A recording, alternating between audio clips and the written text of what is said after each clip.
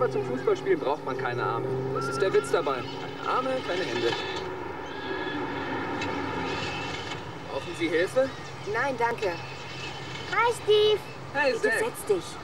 Soll ich wirklich keine Pannenhilfe herbeiordern? Nein, danke, ich komme zurecht. Ja, das sehe ich. Tja, die Kiste springt nicht an.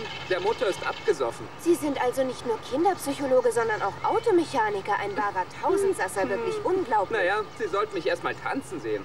Nein, lieber nicht. Ich will ja auch nicht unbedingt Ihnen helfen, aber Zack. Sie sollten den Anlasser jetzt mal für eine Weile in Ruhe lassen und dafür das Gaspedal ganz durchtreten. Dann zählen Sie in Ruhe bis drei, schon wird er anspringen. Na los. Hm, wer sagt's denn? Hey, zu Ihrer Information, ich habe nur bis zwei gezählt.